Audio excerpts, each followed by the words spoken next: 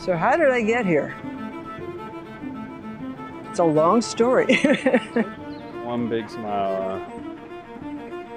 I took my daughter to a marathon and I watched everybody coming in to the finish line. I was thinking, wow, they look so happy. I want to know what that feels like. When I realized that the whole world was looking at this young male, Alex, you know, climbing this wall, and that his mother spoke seven languages, played at least three instruments, was a oil painter artist, and was a, a prolific writer, I thought, well, maybe we should shift the focus a little bit. Why isn't society naturally looking at this remarkable human being? And the answer was simple, because she's, she's older. I'm very pleasantly surprised by what mom has done in the second half of her life.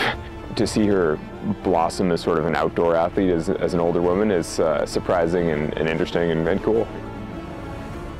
Three weeks, I think, after Alex did his incredible free solo climb of El Capitan, he led me up El Cap. Climbing is 100% you against you and nobody else. Only you know what you're capable of.